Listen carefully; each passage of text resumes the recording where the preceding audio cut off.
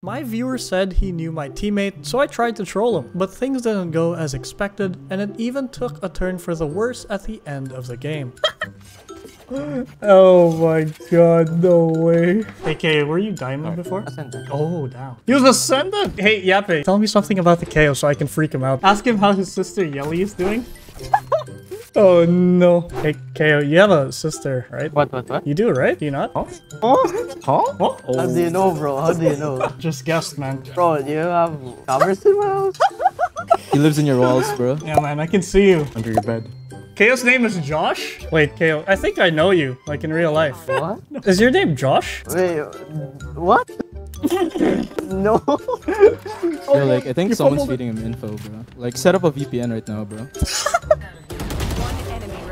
One enemy remaining. Whoa, Yo, GG's! guys. Thanks for the game, Eggwick. Damn! Wait, what the? I was getting trolled the entire time.